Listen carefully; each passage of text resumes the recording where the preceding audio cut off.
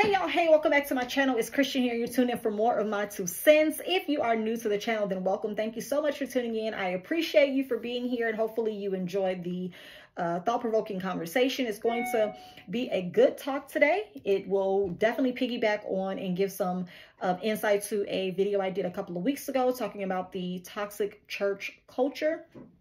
And, you know, videos like this is just a small part of a larger conversation.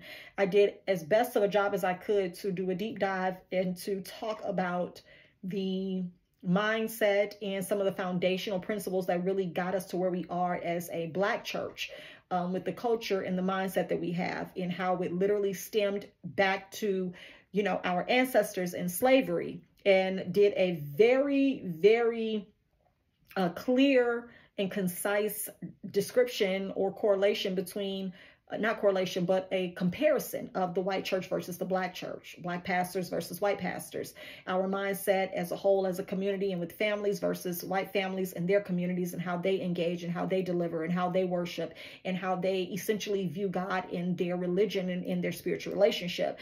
And this video that I will be doing a reaction on today is going to give more insight, more depth, and it's going to really it's going to make it plain. Okay. What I was saying when I made that video, I was not privy to this video that I am going to play today. I just found this video this week and it's, you know, it's mind blowing, but it's going to hopefully validate a lot of things that people didn't understand from my video a couple of weeks ago. And hopefully if you haven't watched it, you will go back and watch it and you will now be able to understand more.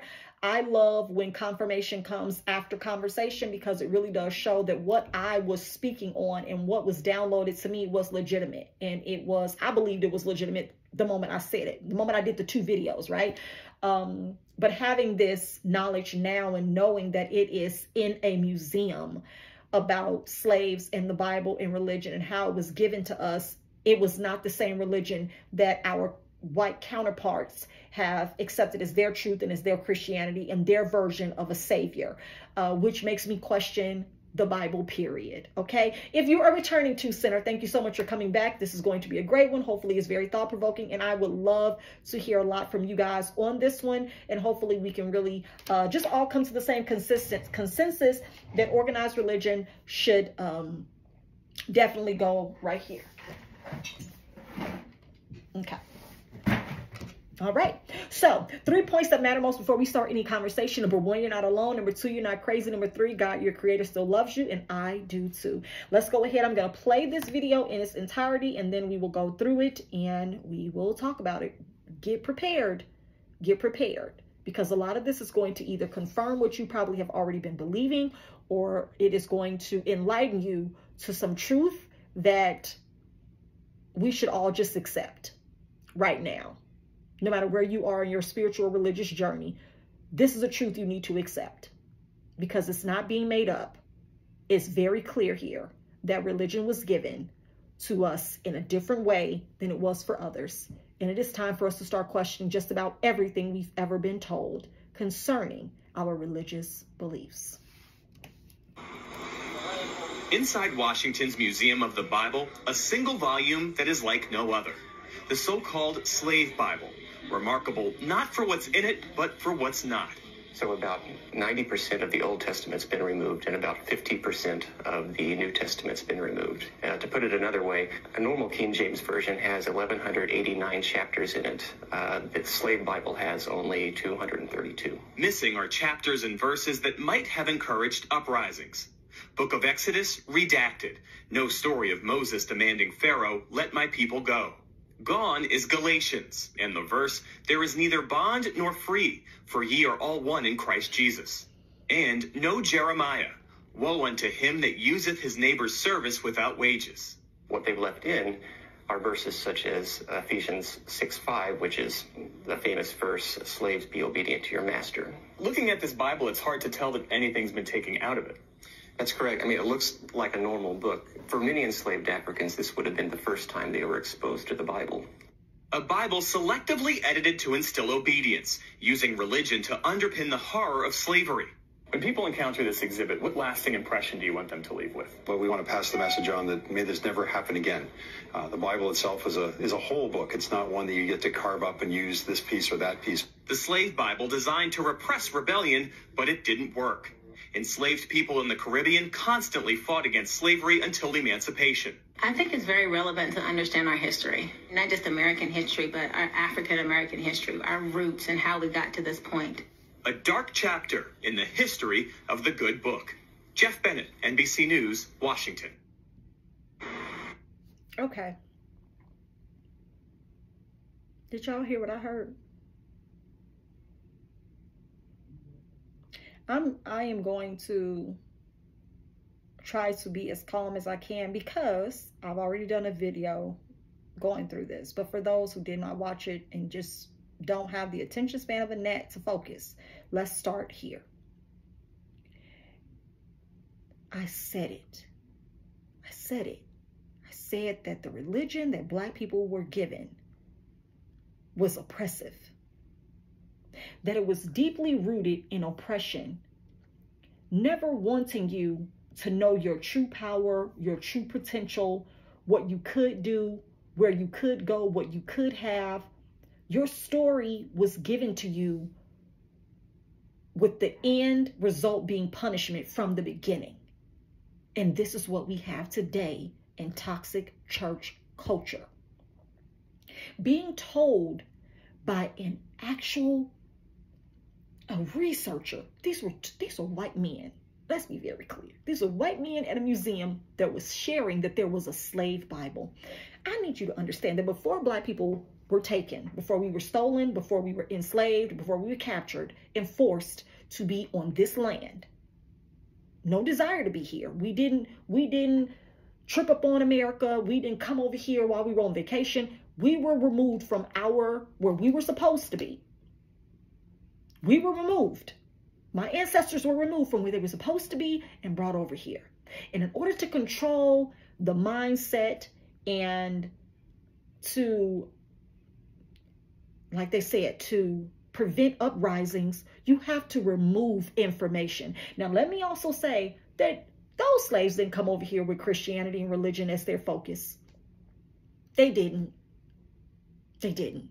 But they were definitely given a tool. They, the oppressors realized that what they had and what they were believing in and what they thought and what they followed, this would be great to give it to the slaves. Let's give them something too. And let's remove something from it. Let's remove the hope. Let's remove the faith. Let's remove the joy. Let's remove the promises. But let's keep in the bondage, the fear. Let's keep the bondage and the fear in. Let's keep that in there. We can't let these we can't let them think that they stand a chance of being delivered. Present day, your pastors are doing the same thing. Present day, your pastors are doing the same thing. They do not want you to stand on your own. They do not want you to accept any accolades or any praise for what you overcome and what you do by the power of your own belief and your own action. They don't want you to be empowered. You would no longer have to depend on them. What I need you to understand is in the slave days, in that time, so disgusting, in that time, slave owners could not get the word or the gospel or the Bible out to all of the slaves. They had so many slaves. It was hard to really get all of them in one place to share this good news with. So they had to find other people who could evangelize.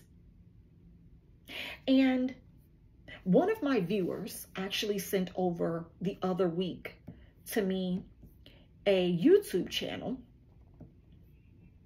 and some videos that are actually called, my God, the videos are called The Religious Instruction of the Negroes. This was a book. It's this called, is a reading of The Religious Instruction of the Negroes. It was a sermon. It was a sermon, you guys. It was a sermon by Charles Colcock Jones by Charles Colcock Jones, The Religious Instruction of the Negroes. This guy did a great job of reading it um, in different parts on YouTube. And he even said it himself that it was one of the most disgusting and vile things that he'd ever read. But it literally was the instruction of how to give the Bible to slaves. Thank you so much to the viewer that sent that to me because it confirmed what I said in the video. And he actually said it in his email to me.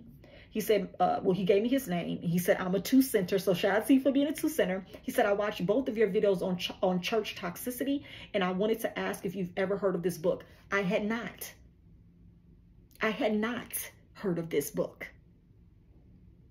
But wouldn't fate have it, wouldn't irony roll up on us that I would speak something that would be foundationally true and then backed by a sermon taught and shared with white slave owners on how to give the gospel and share religion with their slaves to get them to be on one accord and to submit because they were wild, that they were uh, vile, disgusting human beings. They needed to be controlled. This is what this man said in this sermon.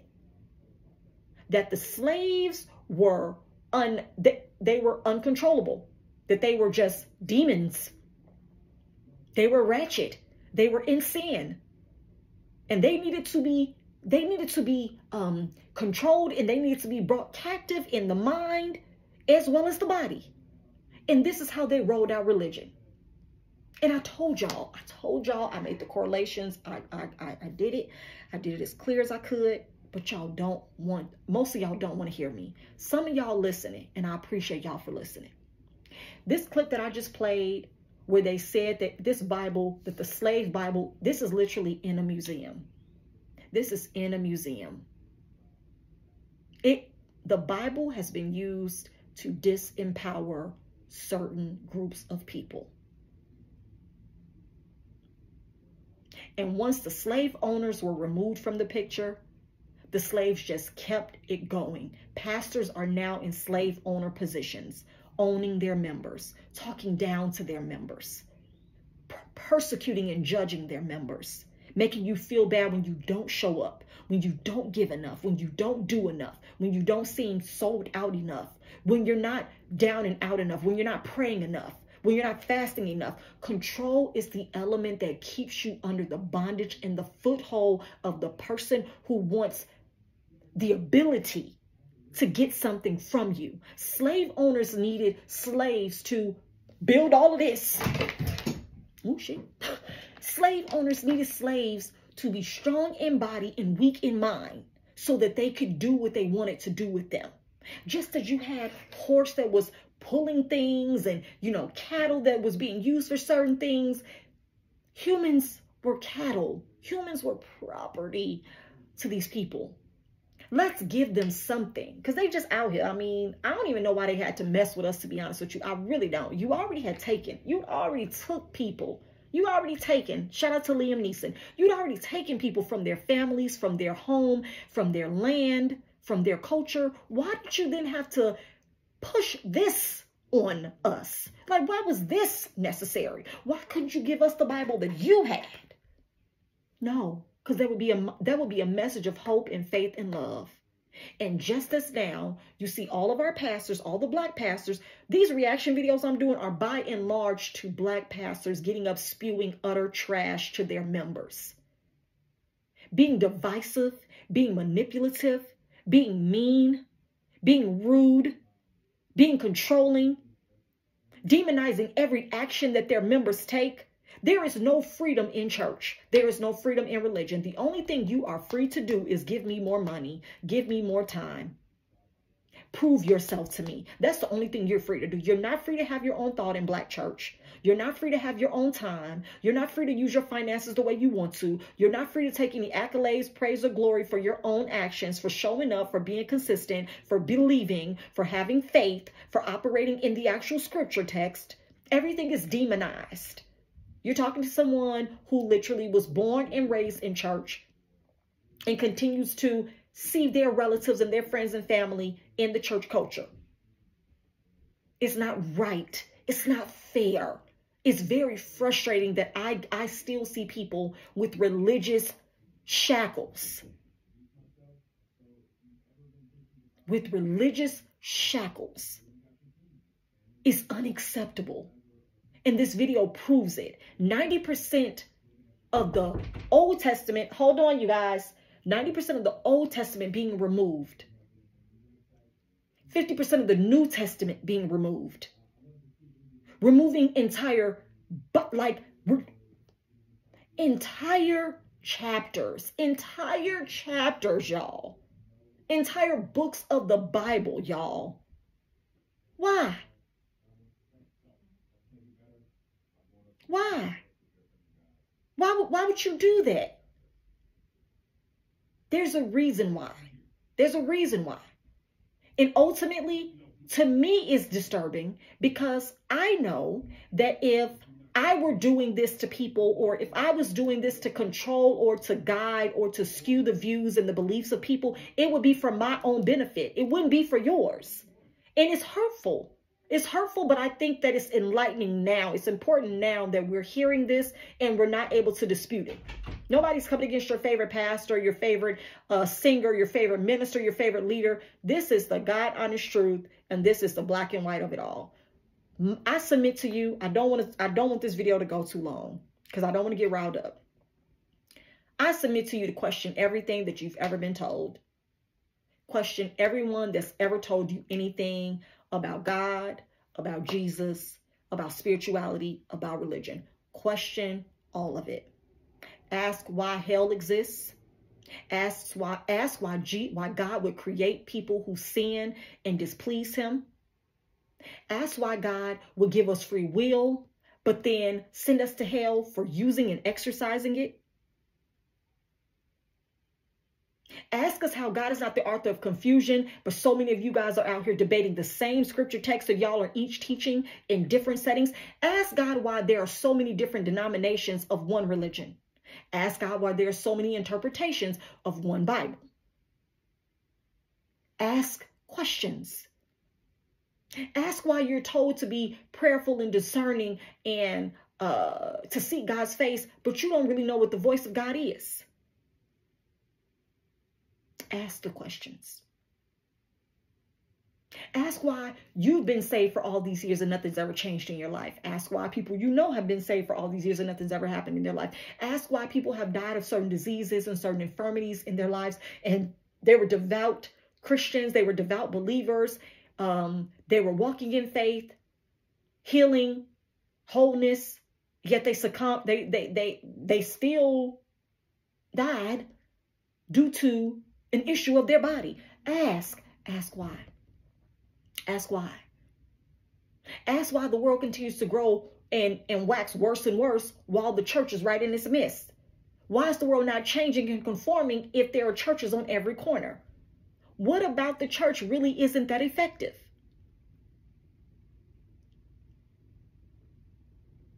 Ask why.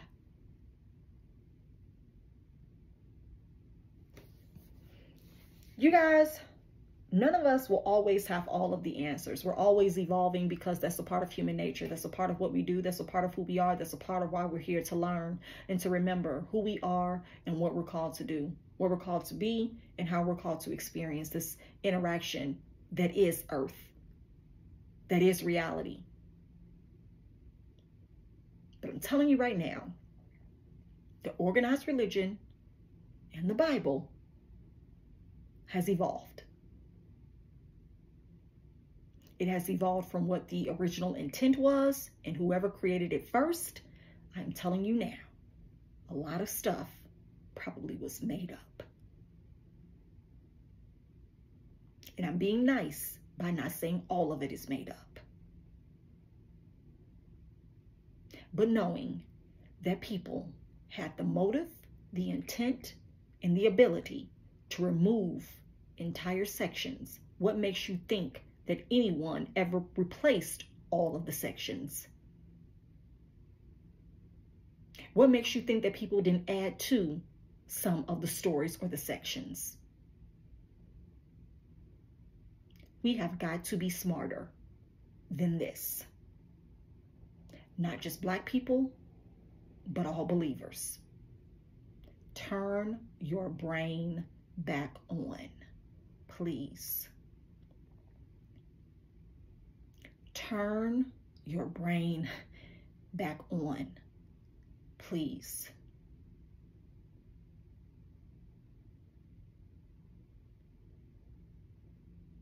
And if you cannot do that, and if you're not willing to do that, step aside as the rest of us help other people to actually dump everything that has been downloaded into them. I was indoctrinated as a child. Majority of you were too. Some of you chose salvation as an adult. That is your business. That was your choice. I did not have one. And while there are values and principles that I can still understand, relate to, and I connect with, and I'm okay with keeping some of those for moral purposes and integrity, standards and values, there are parts that I've done away with. I've done videos on that. I will not go back through that list of what I left behind when I left uh, Christianity. I will not go back through that list today. What I want you to understand right now is that the two-part video that I did on toxic church on toxic church culture has now been verified and validated. Exactly what I said happened happened. And I did not have these two resources when I did that video.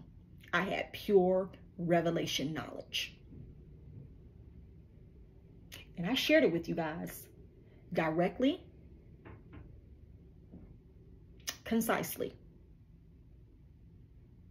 Whether you receive it or not, that's your business. But I did my part and I will continue to do my part. Unapologetically, authentically, and organically. I will not toot my own horn. No, my video may not be the most popular one on YouTube as a Christian um, guru or expert or encourager because some of y'all just want to hear good things that make you feel great and you have no relationship and you have no real understanding and you are living off of hope alone. But as my husband has told me several times before, hope is not a strategy. Hope is not a plan. Y'all need something else. And if you want to know what something else is, I'll do another video to tell you. But right now, the Bible ain't it. You're not safe. It's not safe. It's not safe. It's not safe. And I'm saying this with, with all the love and respect in my heart for God. The Bible is not safe. I feel like like I feel like we're on a movie on a TV show like where there's been like some kind of breach and you're trying to inform people quietly so you don't get in trouble. It's not safe. It's not. Okay. All right. Now that we know what we know, now that we've heard what's in a museum, and we understand that the slaves got a different Bible for a different reason than their white slave owners, let's all agree, not to disagree, but let's all agree here that that same mindset and that same intent has been passed down to your family, my family, your grandma, my grandma, your mama, my mama, your daddy, my daddy, your auntie, my auntie, your uncle, my uncle, your cousins, my cousin. We all got the same package. And it was the never giving overcomer. Okay. All right. So, um, hopefully you guys have enjoyed this video. Hopefully it's just been enlightening. It wasn't a, a, a video meant to entertain or to be funny or anything. This is enlightenment. Um, my heart usually is a little bit heavier on these videos, like for real, because there's so much I want to convey, but I want to be calm. Um, and I always want to be respectful so that the message is not lost in the delivery. I think that if you know, you present it a certain way, people will automatically block it out and will not even try to hear you. And I never want that to happen when I'm talking about things of this nature that are so serious and they are so um, delicate. I always think about and put myself in the emotional stance of my ancestors and people that I've never met, but I always understand that we're still fighting that battle um, beyond the plantation. And maybe that's why I refuse to call the church stage a pulpit, right? It's not sacred. It's not holy the way that they think it is and it was intended to be. A lot of things have been skewed. I believe that religion and, and Christianity and, and, and God and the Bible was intended and should have been given as a source of light and love. But instead, it has become a death wish. It has become full of um, punishment, it's fear, and um, it's hatred. And I don't see how those two things can exist. I don't see how those things can exist in the same space. I do not I do not understand how the Bible can literally have stories of redemption and stories of love and stories of miracles, signs and wonders, and then stories of uh, damnation and stories of pain and suffering. I don't get it. I don't get it. That's double-mindedness at its best. Rewrote and reconfigured to make it make sense to you as long as you're doing what whoever is instructing you to do. I don't like it. It's time to rethink this entire situation. And I'm glad I have a head start on doing so. So, um, yeah, drop down the comment section below. Let's have the dialogue. What do you think about what you heard here on this video? Um, if I remember, I will definitely share the clip. If I don't remember, by the time this video posts, I will definitely share it um, to my uh, story. Well, not my story, but to my YouTube shorts. And hopefully it will be, maybe it'll go viral. This video is old though. So it's not like it's a new video or anything like that. It actually was posted. Um, and I got this from Larry Reed. So I got this off of Larry Reed's Facebook page. He posted it on January 6th. And um, this was a story done by ABC. So it's legitimate, but it definitely was, um, the slave Bible was definitely destructive. And it was full of wicked intent. And all I'm going to say is its roots go deep and they are still growing. Okay. So, um, yeah, let's let's fuel the conversation. If you like the video, go ahead and uh, click the like button, subscribe to the channel. I would love to add you to my two cents crew. Until next time, I'll see you guys in the next video. Take care and uh, stay aware. Bye.